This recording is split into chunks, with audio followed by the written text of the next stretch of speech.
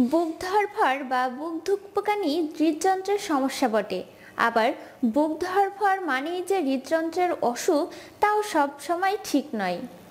চিকিৎসাবিদ্যায় একে বলা হয় প্যালপিটেশন। বুক ধরফর করা কোনো রোগ নয়, রোগের উপসর্গ।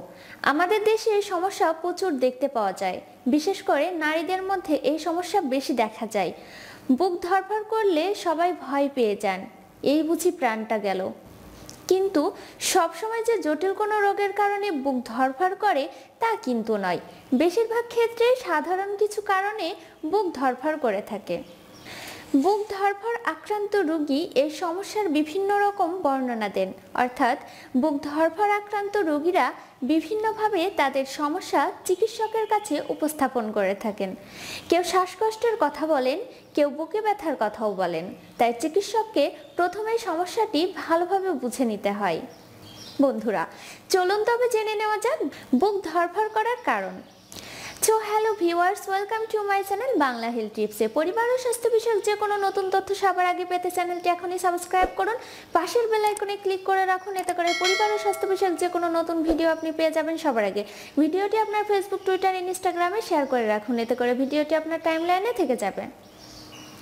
প্রথমত, বুক ধরফর করার সবচেয়ে প্রধান কারণ হলো দুশ্চিন্তা। রক্ত স্বল্পতা থাকলেও বুক ধরফর করে। অনেক সময় গর্ভ অবস্থায় এই সমস্যা দেখা দিতে পারে। কারও থাইরোটক্সিকোসিস থাকলে বুক ধরফর করে। আমাদের হৃৎপিণ্ডে বিভিন্ন ভাল্ব থাকে। ভাল্বগুলো একমুখী রক্ত প্রবাহ নিশ্চিত করে। এই ভাল্বের সমস্যার কারণেও বুক ধরফর করে। হৃৎপিণ্ডের বিভিন্ন জটিল রোগ থাকলে বুক ধরফর করতে দেখা যায়। এছাড়াও হৃৎপিণ্ডের অলিন্দ এবং নিলয়ে যদি অতিরিক্ত সংকোচন হয়, তবে মাঝে মাঝে খুব অল্প সময়ের জন্য বুক ধরফর করতে পারে। যারা অ্যালকোহল গ্রহণ করেন এবং ধূমপান করেন, তাদের এমন বেশি হয়ে থাকে। অতিরিক্ত মানসিক চাপে ভুগলেও হৃৎপিণ্ডের অতিরিক্ত সংকোচন হয় এবং এতে বুক ধরফর করে।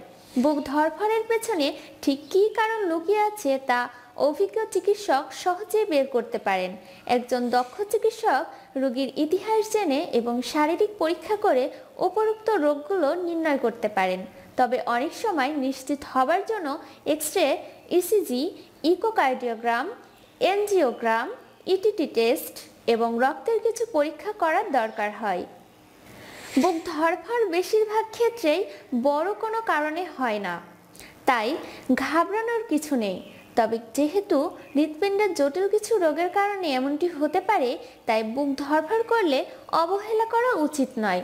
দ্রুত একজন হৃদরোগ বিশেষজ্ঞকে দেখানো উচিত এবং কারণ খুঁজে চিকিৎসা করা উচিত। তা না হলে অকালে ঝরে যেতে পারে আপনার অমূল্য প্রাণটি। ধন্যবাদ, ভালো থাকবেন আর বেশি বেশি লাইক কমেন্ট শেয়ার করবেন। আর যারা আমাদের চ্যানেলটি এখনও সাবস্ক্রাইব করেননি, আমাদের চ্যানেলটি এখনই সাবস্ক্রাইব করুন। পাশের বেল আইকনে ক্লিক করে রাখুন, এতে করে স্বাস্থ্য সংক্রান্ত নতুন তথ্য আপনি পেয়ে যাবেন সবার আগে।